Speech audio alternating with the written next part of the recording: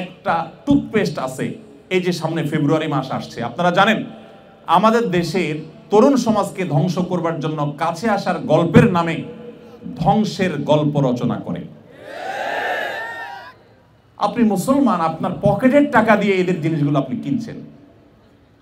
আপনার মধ্যে এতটুকু ইমানই ইমানই আত্মসম্মান নেই, এতটুকু গায়রত নেই, এতটুকু তেজ আর জজবা আপনার মধ্যে নাই। আমার টাকা দিয়ে এদের জিনিসটা কেনা মানে হলো তাদের সে অসভ্যতা, তাদের সে লাম্পট্য, তাদের সে অপকর্ম, তাদের সে ঘৃণ্য কর্ম, সেটাকে প্রতিষ্ঠা করবার জন্য আপনি সহযোগী হচ্ছেন।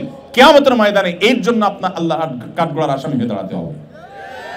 আপনি নামাজ পড়ছেন, আপনি রোজা রাখছেন, আপনি ওয়াজ মাহফিল শুনছেন কিন্তু আপনি এই জিনিসগুলো কিনছেন।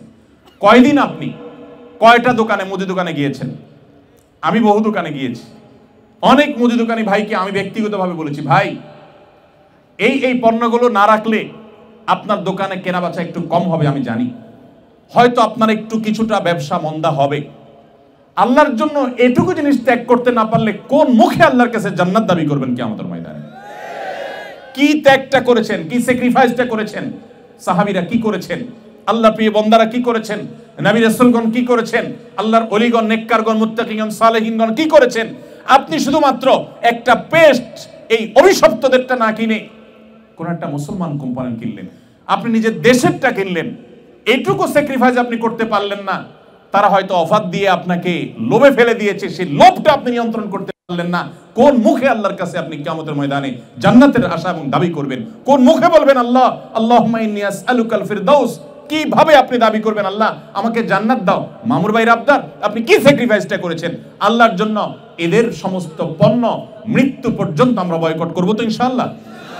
শুধু বয়কট করলে হবে না।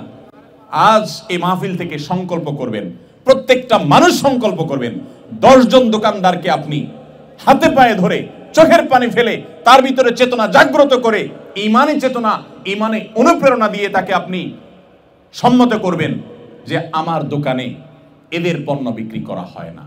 চেষ্টা করব তো ইনশাআল্লাহ।